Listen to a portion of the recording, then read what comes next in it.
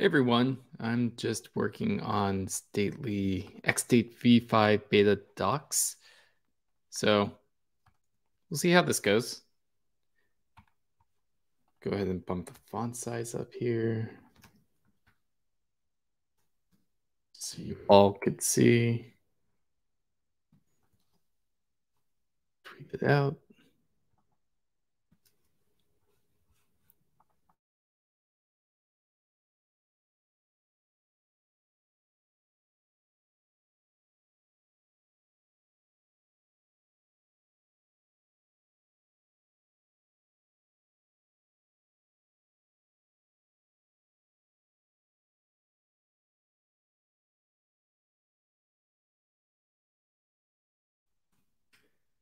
Hey, Judy Kyle.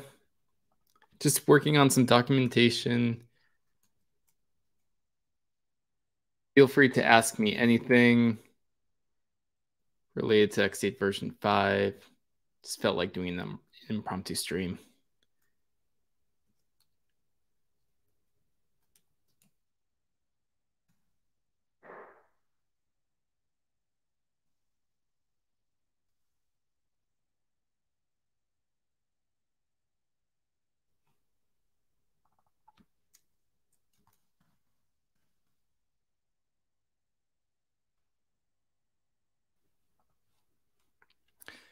Okay, let's get started. So first of all, I want to talk about uh, what's actually happening over here. So this is a branch that we currently have called XState v5 outline, or I believe that's a branch name. Yeah, v5 dash outline.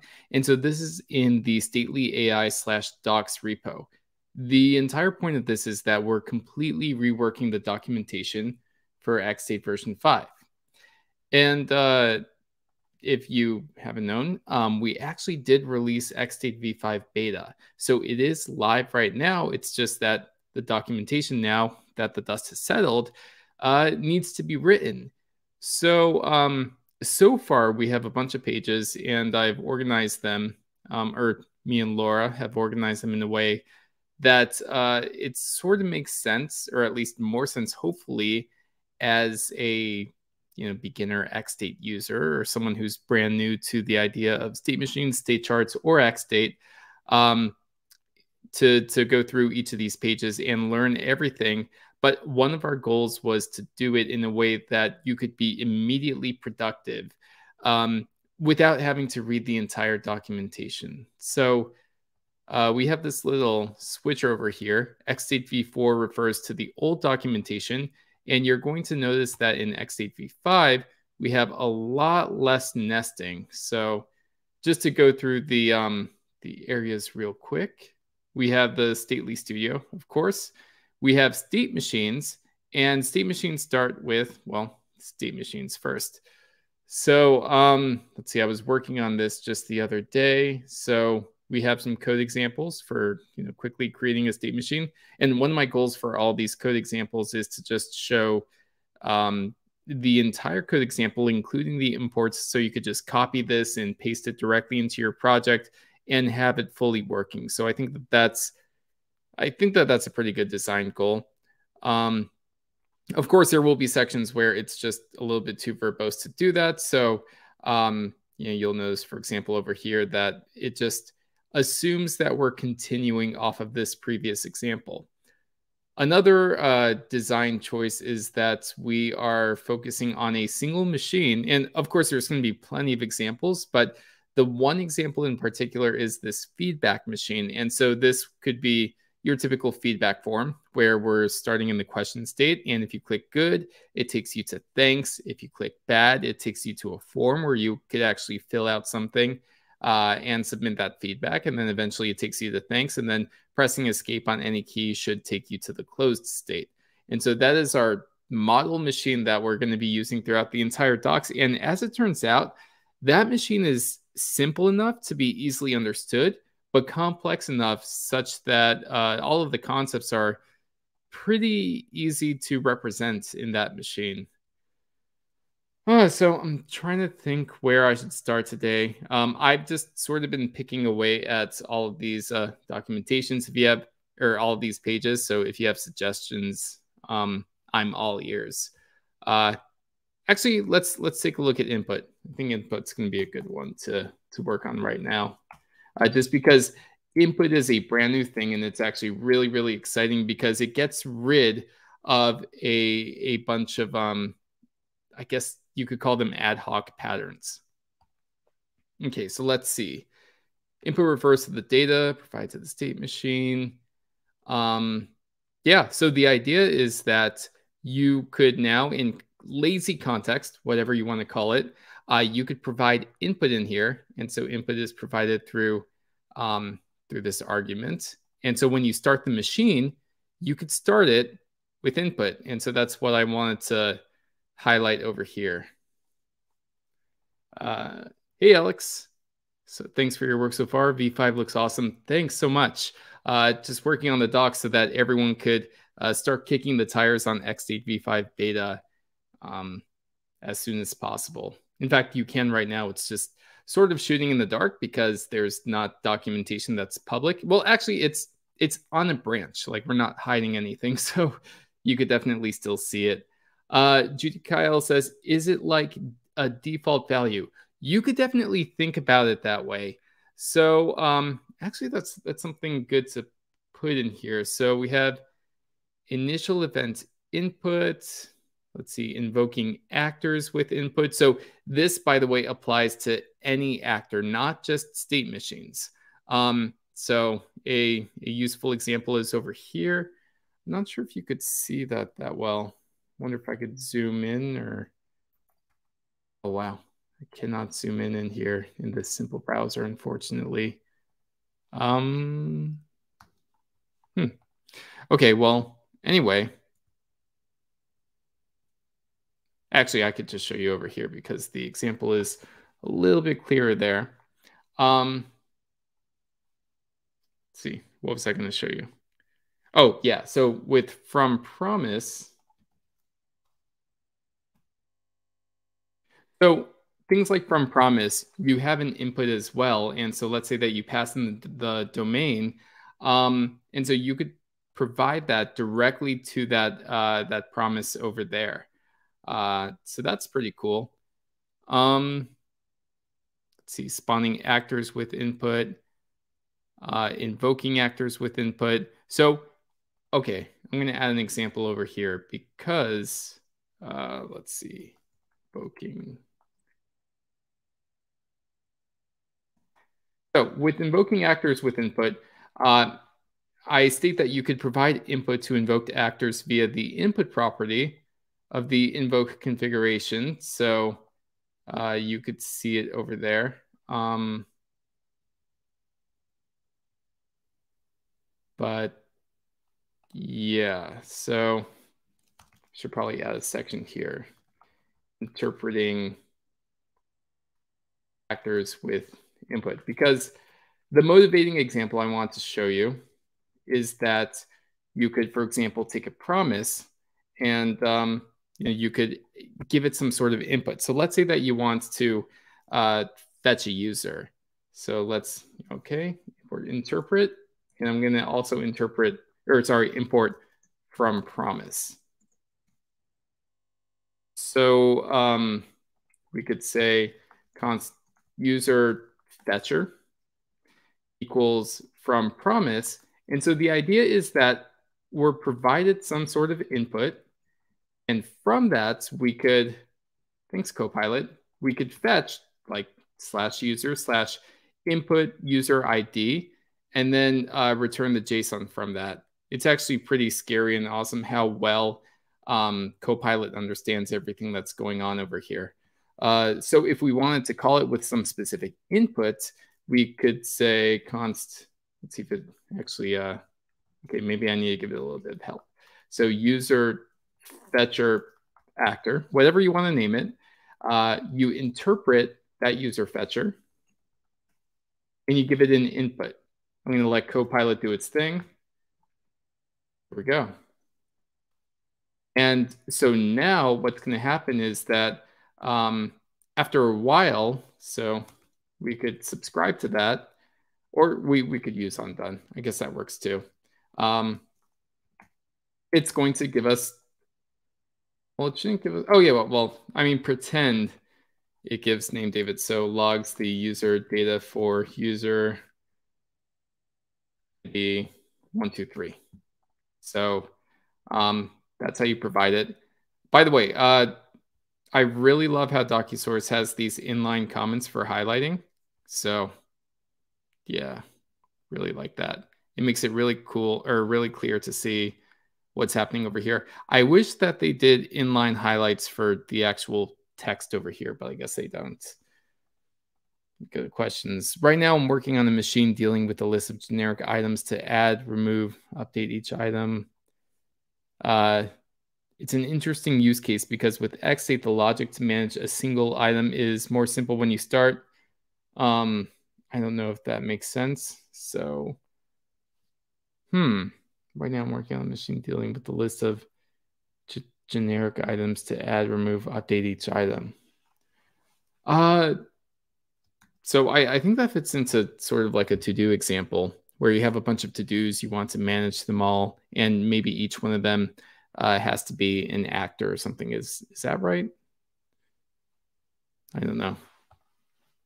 Okay, so uh, let's see what else I have to finish up here. We have initial events input. And so this just explains that the um, the initial events that you have, it's going to have a type of xstate.init. I'm not sure if that's useful or not to actually expose to the user or to you, the developer. Um, but yeah, I'm just including there it there for completion. Uh, the idea is that when you enter the machine, you always will get this init event, this xstate.init event.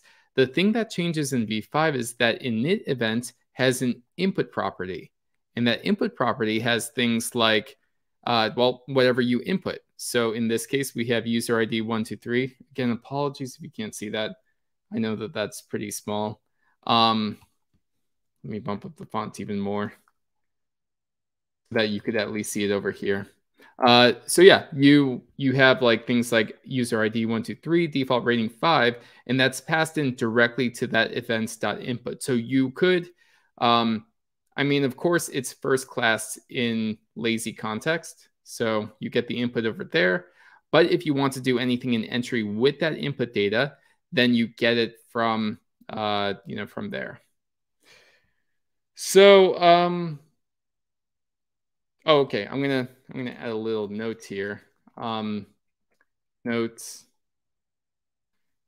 input. Yeah, input data is not persisted in the machine. If you want to um, persist input data, then you could do so in the machine's context. Wow.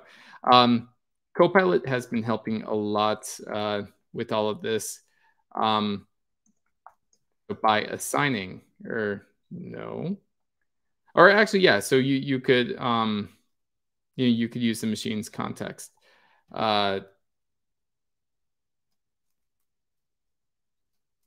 actually, I'm not sure if that's useful because we already explained that over here. Um, yeah. So interpreting actors with input, um, any actor can be uh, by the way, I'm just writing rough thoughts in here. Later, I'm just going to go and uh, and clean it all up. So any actor can be provided input when it is interpreted. That's absolutely correct. Um, this input is read. Actually, that's too passive. Uh, you can read this input. Um, by the way, I'm sort of struggling with what's it called this? So from promise, we have from promise, from observable, from transition, from callback, all of these things. They don't return actors. Instead, they return the same thing that create machine returns. It's not exactly a state, like a full on state machine state chart like create machine returns, but instead it's that same blueprint of um of you know something that you use to invoke interpret create an actor. So um, I've been opting. So internally, we call it actor behavior, but I'm opting in the documentation to probably call it actor logic. So you could read this input, but that, that might be a bit obscure. Um, in the, or you could read this input uh, from the input property of the first argument to um, action logic creators. Again, I'm not sure uh, what do we call these, um, such as from promise. There is no from service from, uh, you know, from observable, uh, from transition,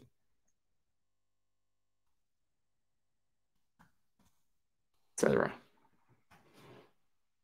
Yeah, the input is read uh, from here, and then you know, that that becomes part of the logic.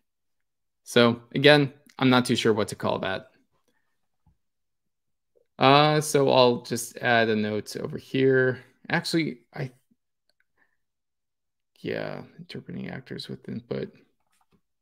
Just gonna say to do show examples for um, yeah, from transition from observable and all of those other things. Okay, so we also have initial events input. And so the idea is that when you're reading this documentation, you should be able to get up and running even with just the first example. So that's, again, sort of my goal. You're reading the docs and you're like, okay, I just need a quick reference or I just want to learn about the basics real quick.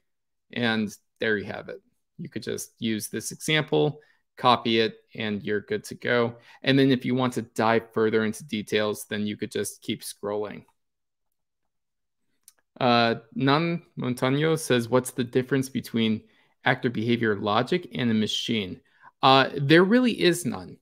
Um, so the idea is that, and I'll just uh, do this all the way down here. Just have an empty to do. Um, so let's say that you have a machine you would have const machine equals create machine, and you would have stuff in here. You could also have a, let's call this um, promise logic, and you would have from promise. And so this would be a function that returns some sort of promise. Uh, you could also have const um, callback logic, we'll call it. And this is from callback and you have your send back and receive, and you could, you know, do stuff in here. Uh, you have other stuff too. So you have observable logic. So, um, and this is just like a lazy way of creating an observer. So uh, let's say that you're importing from RxJS and you want something on an on a one second interval. So you could have something like that. Um, and then you have your reducers or uh, transitions. So const uh, transition logic equals from reducer, and then copy and paste your Redux reducers or your use reducer reducers. You could use it all the same. I mean, it's exactly the same thing. You just need to pass in an initial state like count zero. Um, okay, so the point of all that is to say that these in version five, these are all basically the same thing, which means that you could say const actor equals interpret machine. You could start it too. And you could go even further. You could say const uh, promise actor equals interpret, come on, Copilot, promise logic. Let's see if it does the rest. Observable actor, transition actor. Um, so all of these are actors. All of these have exactly the same interface. And that means that even though you are going to have the most number of features uh, by using state machines, of course, because state machines, they could send events, they could receive events, they could invoke and spawn actors. Uh, they could communicate freely with actors. They could be done like a promise. They could emit events like observables. They could do a ton of things. So you could think of a machines as a superset of all of these. You could still write your logic with any of these. So let's say that, you know, you're using XState and you're trying to have this logic work with the rest of your actors that you create, like maybe you have some state machines, but you're saying, you know, my logic is actually um, it's it's an async await function. It's just await this, await this, await that, and then return some data. And you're like, I really don't want to refactor that into a state machine. So the idea is that you would just do this. You would write an async function or copy and paste it. And so you could await do something, const data equals await do something else. You know, you could await promise.all, you know, you could just really go crazy, do whatever you want. You could eventually return some data. And this now becomes compatible with everything else in XState. So, um, you know, you can invoke that. Like, let's say that I move this down here. Let's say I create a machine and I say, you know what, that promise logic I have, I want it to be invoked when the machine starts. So you could just invoke source. Uh, I'm just going to pass in that promise logic. Even give it an ID if you want. So, uh, you know, my promise logic. And that's it. So now you could do things like on done. You could do some sort of event. You could have on error, uh, you know, transition to somewhere. Um, so yeah, it, it completely works. And you could use pretty much anything else you know, callbacks, observables, producers. Uh, so it's under the same unified API. So that's all to say that there really is no difference between them. The only difference is uh, really in the, you know, in what you could do with each type of, of behavior or logic. Again, I'm not entirely sure what to call it. I think I'm going to stick with calling it logic.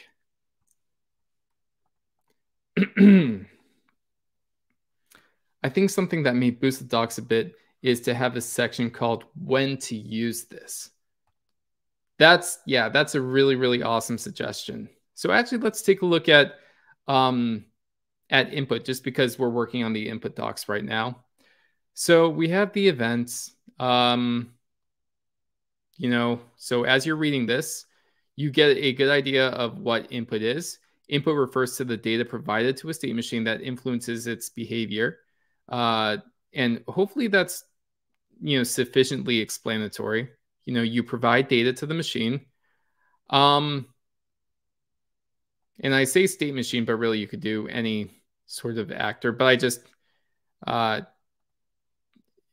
input any actor can be provided input when it is interpreted. I don't like how that's worded. Um, let's see. Input can be provided to any actor. Actually, okay, so Laura told me this. Um, instead of doing sort of a passive thing, it's more of like a I'm talking directly to the person. So I would instead say, you can pass input to any kind of actor. Um, all right so now there's a lot of use uh so by reading see that that's a hard part of doing documentation is just you know going back and refactoring your own words. Uh and that's actually where chat gpt can help. Um so judy kyle is saying like you know when to use input. Yeah. So um interpreting actors with input we have the initial event. Invoking actors with input. So hopefully there's enough of a difference between interpreting actors and invoking. Um, but so with invoking, you could actually have input over here. So I'm just going to highlight this. Light start. Copilot. okay, so um, this is really good for when you need to um, you know you need to invoke something but you also want to provide it some input. And so that input will be read in there. And you could also have dynamic inputs too. So that's one of the cool things about machines is you could say hey i want to get this thing from context.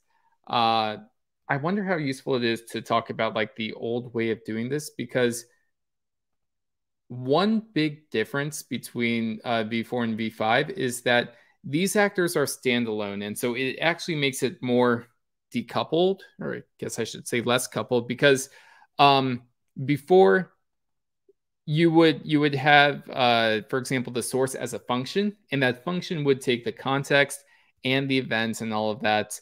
And so this actor was basically reading directly from that.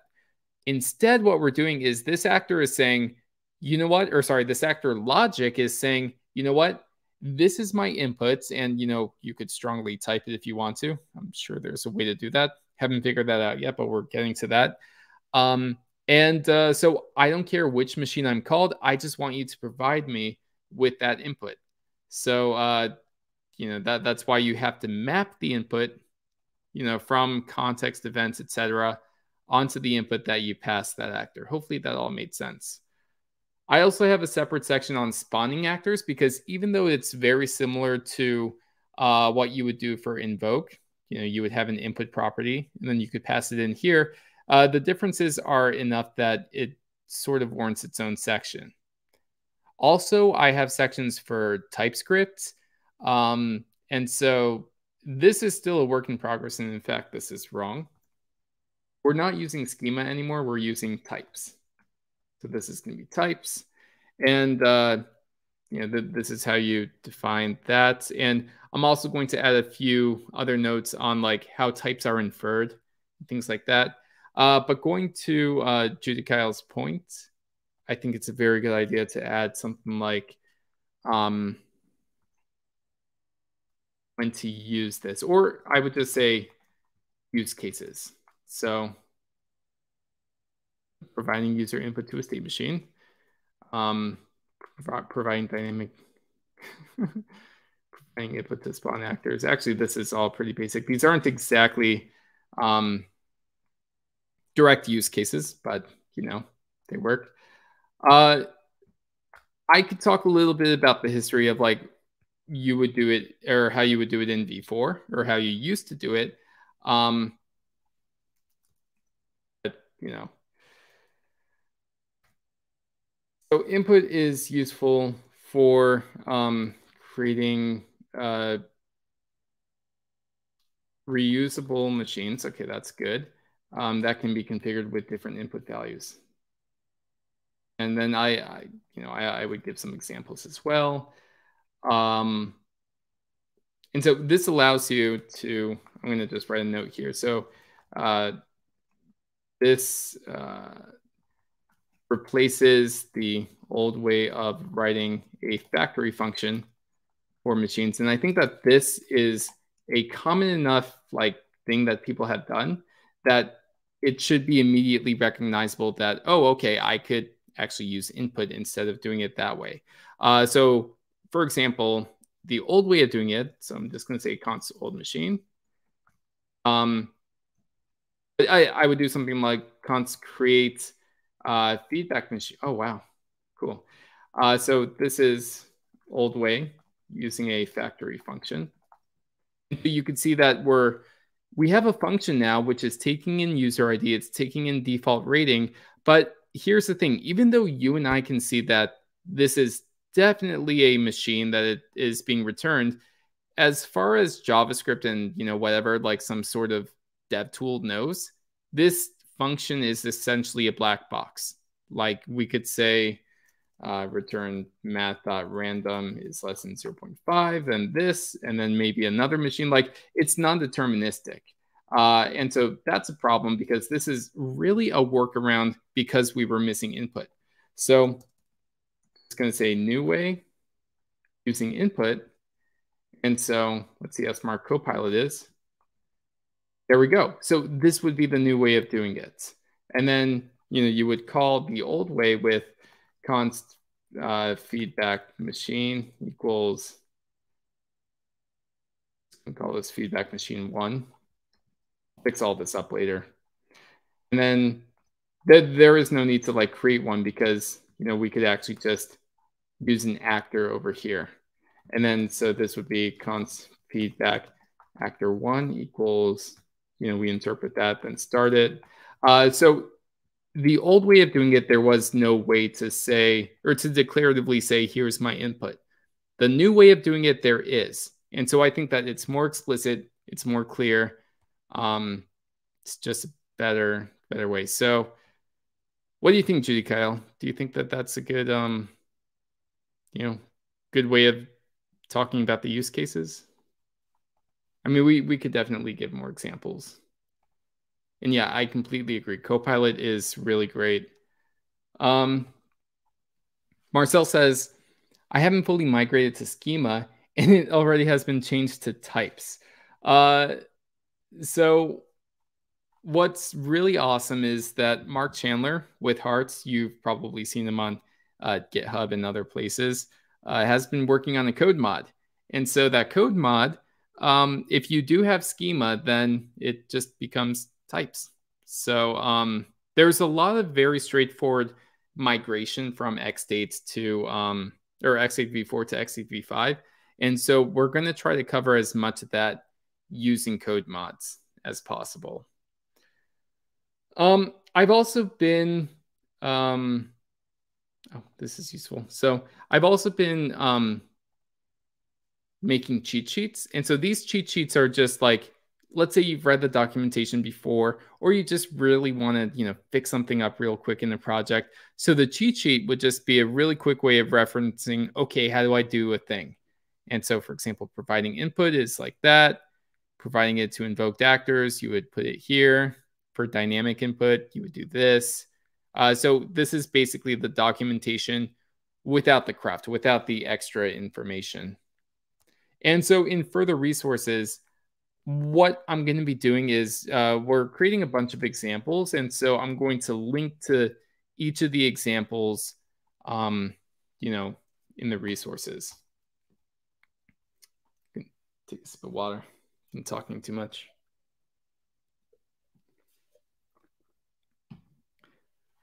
All right.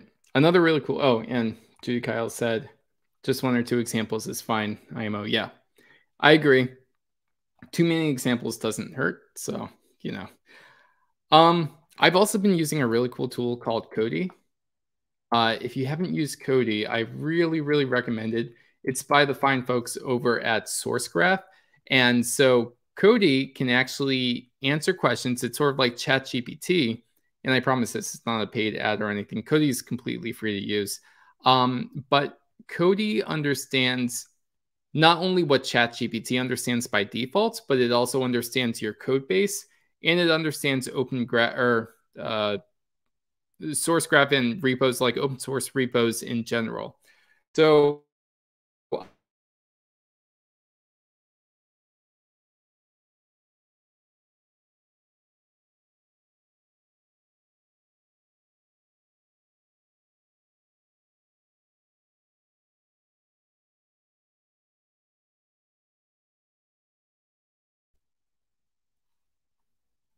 Sorry, I think my internet cut off. okay, so what I was doing, I don't know how much of that, you know, was lost, but um yeah, so Cody actually figured out by reading my documentation what input is. And so it said input refers to the data provided to a state machine that influences its behavior. Okay, so it basically copy pasted from there. Um, so I could ask it a question like, um, can I, uh, what types of things can I pass into input? Like something that's not directly in the documentation. Um, and it says you can pass any data into the input for an actor. Some common examples include user IDs, default values, API endpoints, configuration options. Um, it's wow. And it, it, even suggested things like API endpoint, which I don't have in the docs, but it's really great that it came up with that example. Um, so I could even say, can you give me an example of passing input for uh, for a simple game machine. Even misspelled machine just to see what it would do.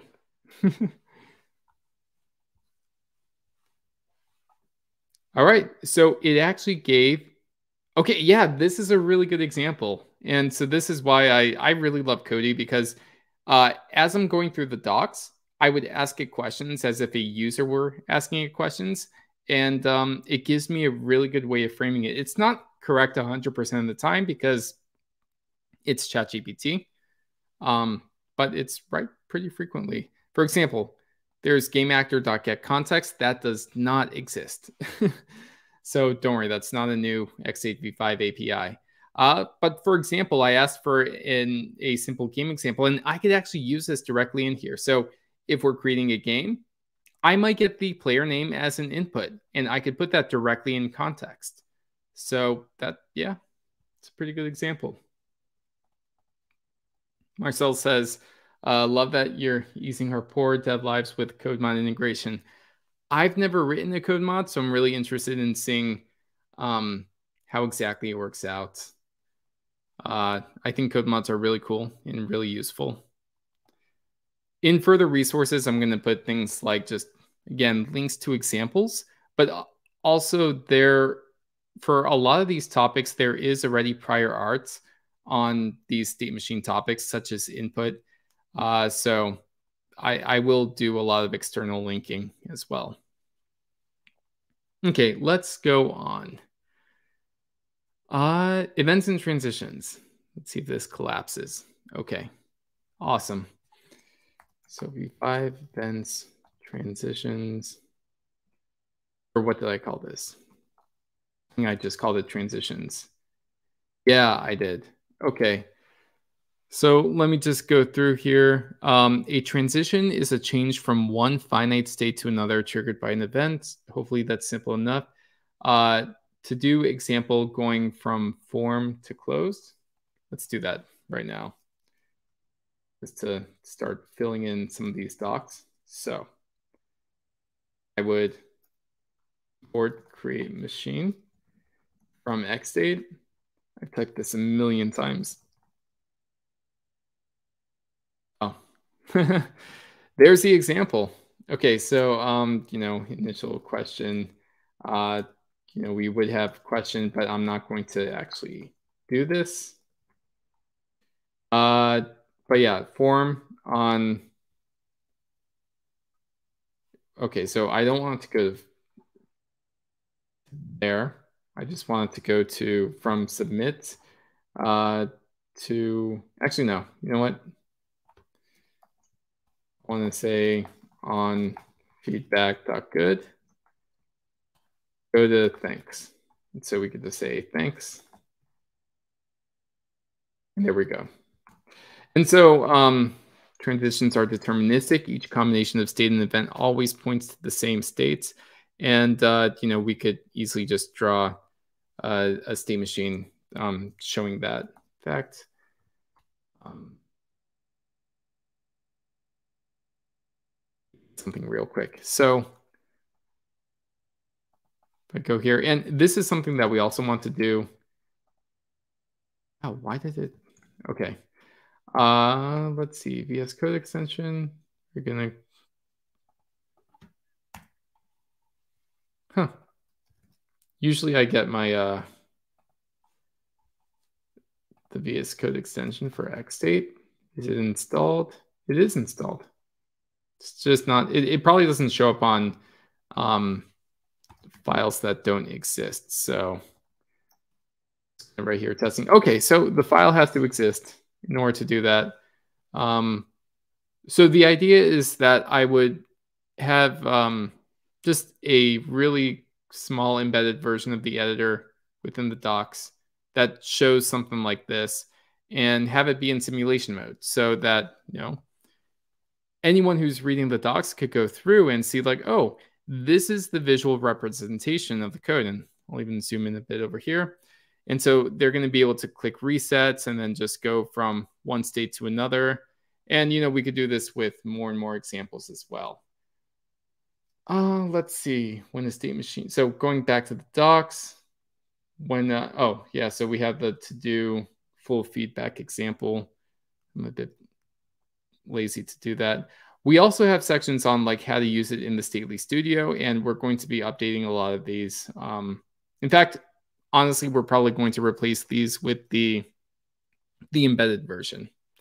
So yeah, uh, and so in the documentation, we're going to talk through all of the steps on how to add things like transitions and events and states and things like that.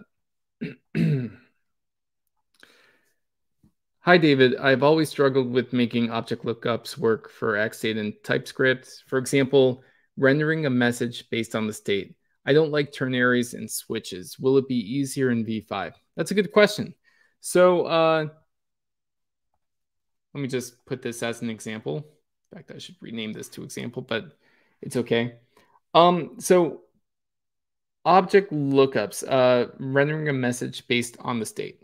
Okay, so there's a few ways that you could do this. And uh, it is a bit confusing that there's a few ways, but, um, you know, uh, one of the ways that I like is um, instead of like using, you know, the state value or something like that, just put it directly in the machine. So let's say I have uh, meta, and then I have a, um, let's say, let's call it, or yeah, description or something like that.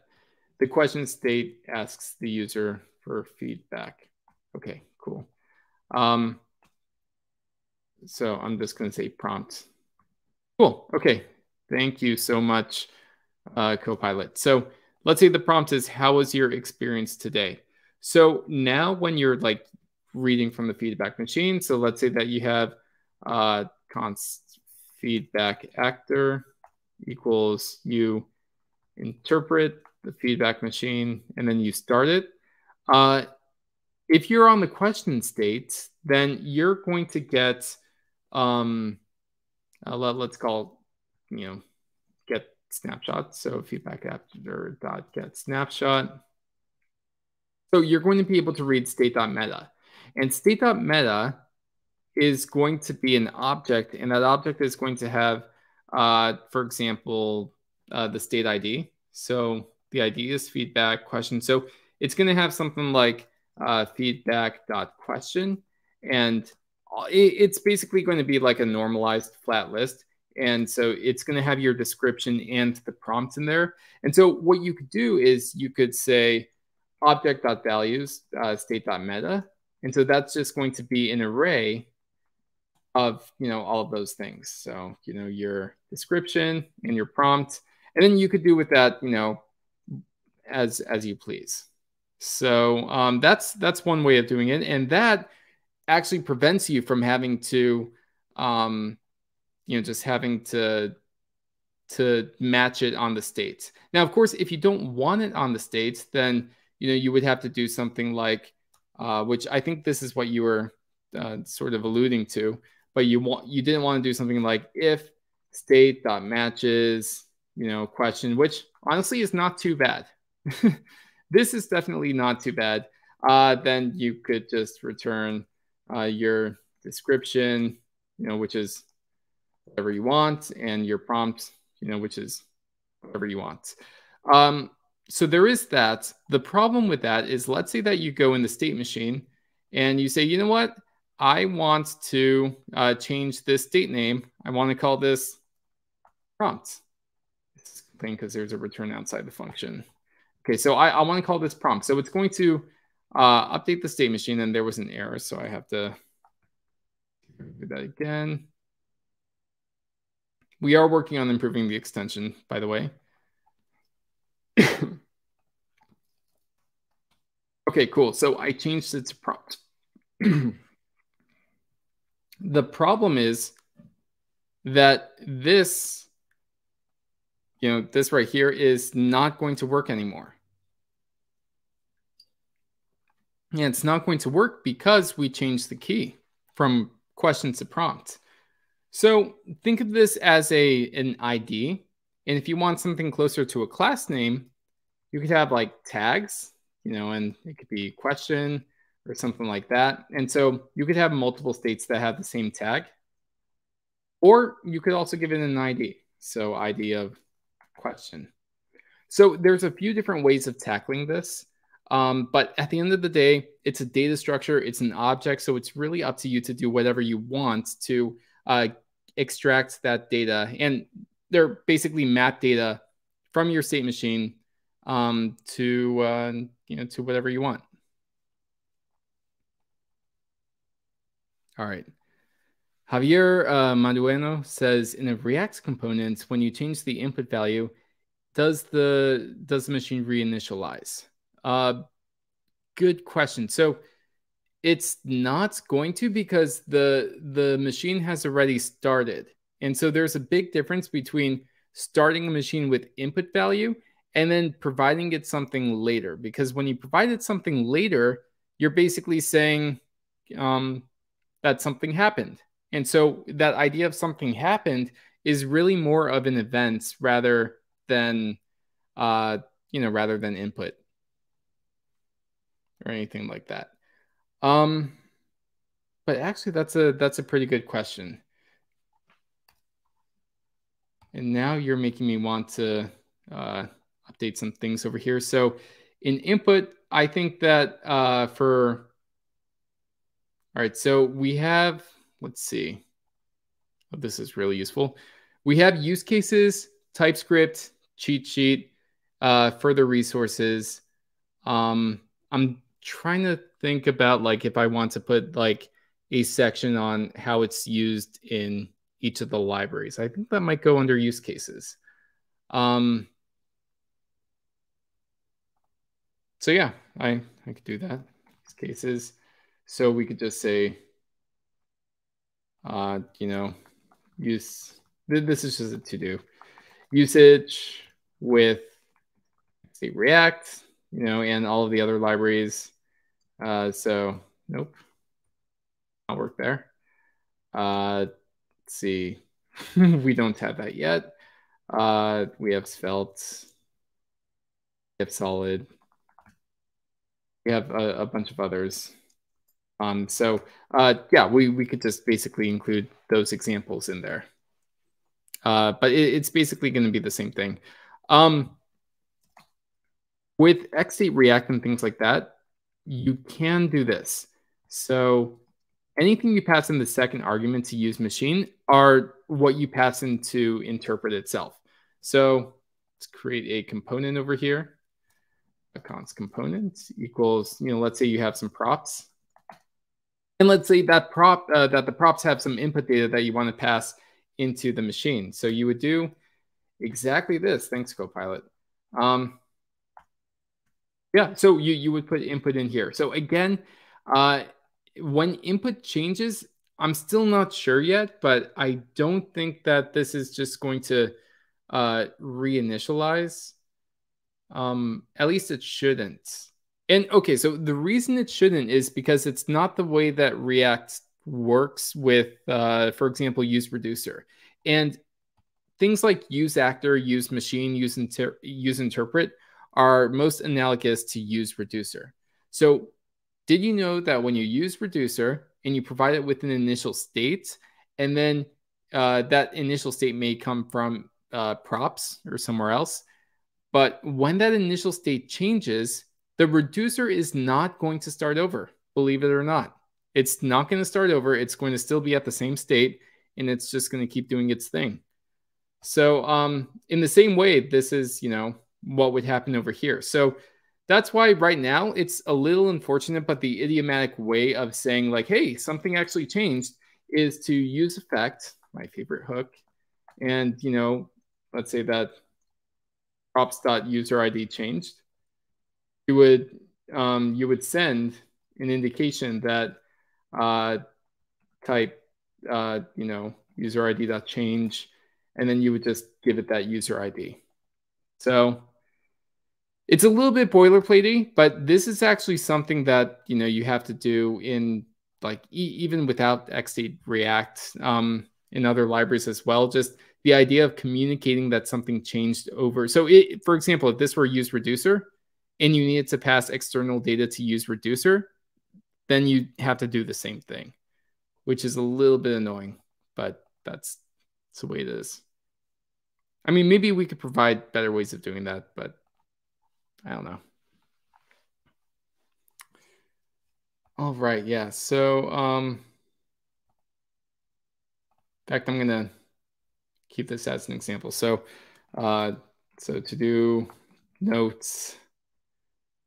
Um, if you want external prop changes, or uh, there's a better way of saying that. Uh, changing the input will not cause the machine to be, or I'm going to say the actor, to be restarted. Uh, you need to send an event to the actor, uh, or not to change the input, but uh, to pass the new data to the actor. Again, I'll phrase that better, but uh, I'm glad that you asked that because it is something that we should include in the docs. Okay, so I was on transitions. So let's uh, let's go there.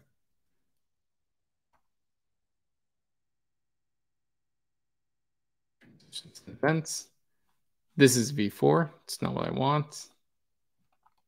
So let's see if I could go back. Events and transitions. Okay, so um, just to give you sort of a lay of the land, uh, we have using transitions in the Stately Studio, and then all the things you could do. Uh, one of the things that we explain here is what an event object is. And so an event object in XState events are represented by event objects with a type property. I realized that I didn't um, I didn't really explain what an event is. Well, I actually did. An event is an occurrence uh, that can trigger a transition. So let me make this bold. We have a transition is a change from one finite state to another. An event is an occurrence that can trigger a transition. Um, now, this makes it look like an event is much more complicated than a transition. So I'm going to clean that up a bit. Cool. So a transition is this. An event is an occurrence that can trigger a transition. Uh, yeah. Okay. So transitions are deterministic, which I think is a very important word. Each combination of state and event always points to the same next state. Um, let's see, to do full feedback example. Okay, so I was down here. In XState, events are represented by event objects with a type property and optional payload. Um, I'm using payload in the general sense. So payload is, it's not a specific property. So we don't have like a payload over here. So hopefully that's not confusing. Um, instead, payload is just whatever else is on the object. So it could have a type and it could have other stuff with it. The type property is a string that represents the event type. Sounds like in like a tautology. the payload is an object that contains additional data about the events. Uh, I hope that makes sense. Yeah. Um, uh, a migration note, and these are all things that I have to write up but you can no longer send a string. So you're not allowed to do this. You have to do this. Um, see if Copilot knows. Okay, yeah. So this is mainly for typing. And so the reason for this is that uh, you don't want some events to do this and then some events to be the fully typed. So like an event with payload. Now you have an you you have a mismatch. You have strings for some areas, objects for other areas. So there's a couple of reasons for this. Number one, it simplifies the types. Number two, it just makes your code a lot more consistent when everything is a string. So um, That's going to be important to point out in the docs. Uh, okay, so I also have a section on selecting transitions too. Um, I think that this is important because, and I want to make a diagram for this too, but um, this sort of tries to make it intuitive, like what the algorithm is actually doing to select a transition, because I think that this is one of the one of the parts that I definitely just completely omitted from the um, you know from the original documentation, but it is important to understand. And so let me actually okay, I'm going to draw a diagram for this. So let's say that you have a state machine, and we're going to use our um, you know our traditional traffic light just because that's the only thing I can think of right now. And so a state machine always has a root node. And so basically when you, uh, like, let's just call this light. Um, so what I mean by root node is that when you have a machine like create machine and you, ooh, that should be left aligned, and it's just an object, so nothing else in it, just this, then this is the root node when you have children, so when you have states, uh, these are child nodes. Nodes. So, uh, you know, right now you're in the root node. And then you have child nodes inside. Okay, so you could, uh, let's say we have, let's make this colorful too. Come on. Green, grebe. uh, yellow, maybe, and red. By the way, if you don't, if you aren't familiar with TL Draw, I highly, highly recommend it. It's such a great tool. So, um, okay, so these are, okay, I'll just draw an arrow, I guess. So these are, um, you know, this green is child state of light, yellow is a child state of light, red is a child state of light, and red itself could contain uh, other child states. So, you know, we could have like your typical uh, walking smaller and stop where, where you should, you know, stop walking. So the idea is that um, okay, let's say that we have a transition from emergency on the root node to uh, to red. So let me just draw that out for you real quick. Uh, so should be bigger and make it really bold. So emergency. Okay. Why it's like that. Make it a little bit smaller. Um, and then we we might have other arrows too. So from green to yellow, we might have just T for timer. Let's do another one, yellow to red. We have T for timer. And of course, red back to green, we have T for timer. Um, and there's a reason I'm using TL draw and not uh, stately. It, it's because I'm trying to describe like the flow of how transitions are chosen. Okay, so let's say that we're in the yellow states. And I'll just fill this in.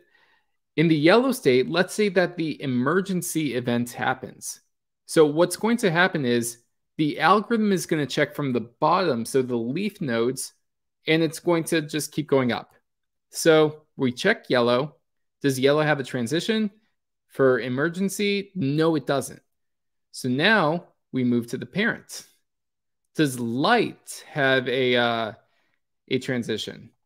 for emergency? Yes, it does. So we go from the bottom to the top and we decide to take this transition because we didn't find one in yellow. I'll just go ahead and fill that in. And so now the next state is going to be red, not yellow. So that's that's how transitions work and that's how transitions are chosen. And so in the documentation, I explain it this way. We start on the deepest active node states, and I'm going to definitely include a diagram like this. So we start by checking yellow. And, um, you know, if, if a transition is enabled and the guard passes, then take it. Uh, there, there is no transition for emergency. Um, and so then we go up. So if no transition is enabled, go up to its parent state and repeat these steps. So let's let's do this. Let's say uh, emergency, but only if it's a real emergency. Um, I don't know what constitutes a real emer emergency or not. It's just an example. Uh, but so let's say that we go up to the lights. It's an emergency, but real emergency does it, it evaluates to false. So this transition will actually not be taken either. So there's nowhere else to go. And so because there are no transitions, then the state is going to remain the same.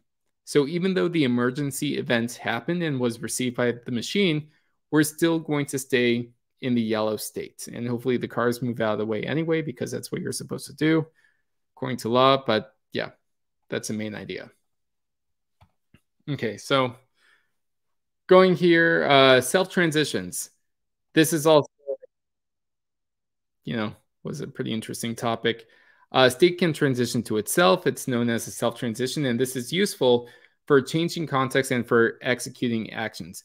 This is actually super important because a self transition, um, I, I sort of explain it like uh, when we start talking about state machines, because I, I want people to get immediately familiar with like just doing something with the state machine and basically doing exactly the same thing that they could do with something like Redux, Zustand, uh, Vuex, Pinia, all of these libraries where it's just an event happens, do something. And so that's why in the, um, you know, in, in the examples over here, or I think it's over there, somewhere over here, uh, I do have like a get started thing. So let's do install xstate. Whoa, that's a lot. Okay, so I did have a quick start somewhere. Not sure where it is. Uh, but I, I basically want to show an example of like, hey, here's something that you could do. Um, right. Just check this real quick. Yeah, if not, then I'll definitely add it. But I, I, I want to show people that there's an easy way to just use state machines for doing really, really basic stuff. And that way is, uh, you know, let's take this example again. Let's say that you didn't have any of these states. So you didn't have feedback good, prompt or thanks, and you just had this. I, I should reload this. So you didn't have any of this. The idea is that you could get started really quickly by just adding self transitions. So let's say that this was a counter machine. You know, you could do a few things. You could increment, um, it's yelling at me, but that's okay. You could uh, self transition. You could decrement. Uh, you could reset. Like there's there's just a bunch of things that you could do. And so the idea is that you should be able to get started really quickly by just you know just doing this, just defining events on your state machine and defining actions for those events which update context. So assign actions. Um, so I'm going to just go back through the docs and review that and just make sure that those simple examples are there. I think a counter example, as simplistic as it is, is actually pretty good because, again, you have three events. Those things could do stuff. And we could actually gradually introduce things like, um, like what happens if this if the counts is too big? What happens if it reaches a max value? then you're going to want to disable certain behaviors. And so, yeah, we could talk about that. And maybe I have a different example for that. Um,